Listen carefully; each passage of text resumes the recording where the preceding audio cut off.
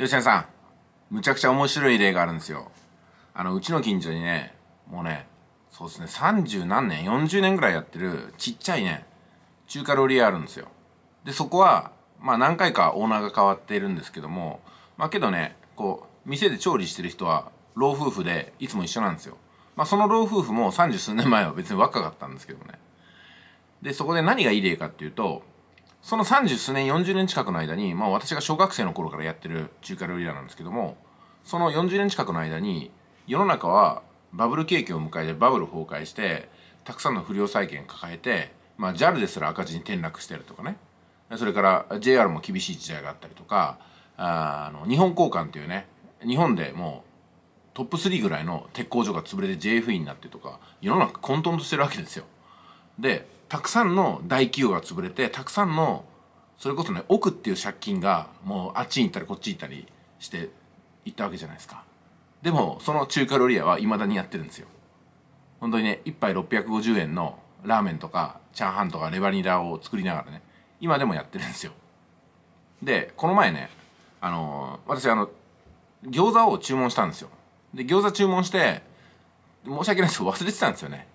忘れてて飯食っちゃってでまあ寝ようかなと思って夜ね深夜2時ぐらいなんですけどもあのー、玄関に物音がしたんでちょっと行ってみたら私が注文したその餃子がねこう引っかかってたんですよ。で後からその店に行ったらねいやなんかなかなかことないからね取りに来ないからね忘れたのかなと思って家に届けたんだよ。で代金その時に払ったんですけどもこれが何を意味するかっていうと多分チェーン店とか大企業でそこまでやんないんですよね。本当に地元の町内の何年も通ってるね古めかしい気心知れた店だからああなんか忘れてんなしょうがねえなまあ作っちゃったしな持ってくかみたいな感じだったんですよね。そのなんかこ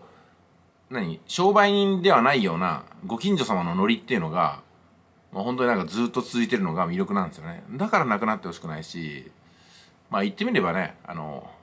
その親父さんも別に家とかわかるわけですよ。住んでる家とかね。でそこに行ってなんかこう行くこともできるし町内会で集まった時にはそうラーメン屋の親父がこうやってねあのちょっと見慣れない格好してこうやってのたんとしてるわけですよ。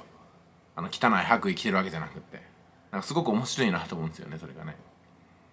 うん、だからなんかこう商売には大きいなら大きいなりに小さいなら小さいなりに役割があって支えられてるんだろうなと思うんですよね。でまあ中村さんねなんか吉むあの吉田さんのね言おうとしてることなんとなく分かりました。さっきの動画で。あの確かにプレイヤーなんですよ。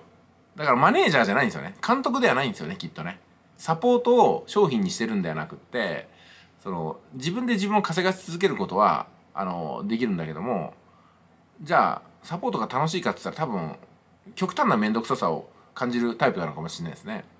私は自分でプレイヤーやるのも好きだしその人と関わってねなんか人が育っていくのを見るのも楽しいしって感じなんで吉田さんと私がなんか似たようなところがあるなってのはこういうところでしょうねきっとね、うん、同じようなスタイルでやってしかもサポートレベルがどうしようもなく高いんでこのレベルが当たり前だと思って他の人の商品買ったらがっかりするでしょうね。それは。それこそ詐欺だ裏切られて金返せってレベルになっちゃうと思いますけども多分その情報系インターネット企業系のサポートの平均レベルを測ったらうん。そうですね。私たちは偏差値75とかじゃないですかね。普通の人はね偏差値55ぐらいを期待するんですよ。いやー本当にねメッセージを送ったからっつってから即返信とか来ないですよ。しまいには忘れられたりとかね FAQ に書いてますみたいな自動応答応答とかで終わりですよね。そういうところありあるかもしれないですね、うん、なんでね田舎の中華料理屋が続いてるか分かりましたよ。いってらっしゃい。